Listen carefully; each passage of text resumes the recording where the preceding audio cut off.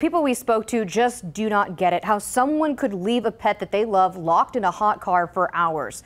Think of a locked metal car on a hot day like an oven. Whatever is inside will be forced to endure baking heat.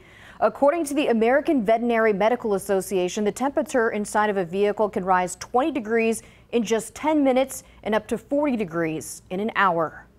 Ready? Good?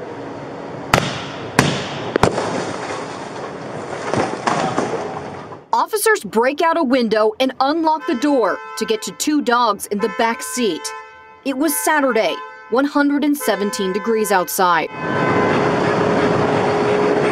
An observant security guard at the parking garage of Planet Hollywood noticed a mother dog and its puppy in the vehicle in distress. He called police. Come here, baby. Come on.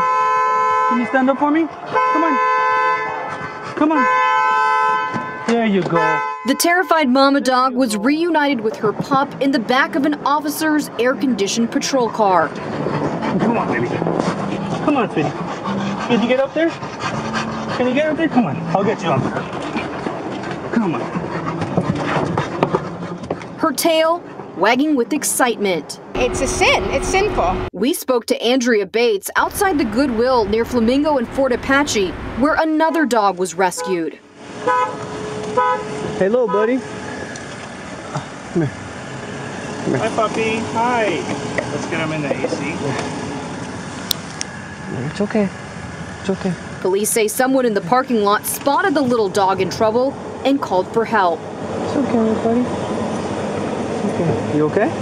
It's okay. Police say the owner was inside shopping. It's become all too common. You don't need to take your pet everywhere. They're not bored. They are comfortable in the house. It don't make sense to me how people don't think about the animals. Gabriel Radovich, also a shopper at Goodwill, says he's glad the owner was arrested, but thinks they should have their license taken away as well. You shouldn't even take dogs for a walk right now. It's too hot. This little dog was also locked in a car, parked on the strip for more than five hours. Again, cops broke out a window to get the dog out. They say it was panting for air and had a dry nose when officers saved it. And according to state law, leaving an animal locked in a hot car is a misdemeanor. A misdemeanor can have a maximum sentence of six months in jail or a $1,000 fine.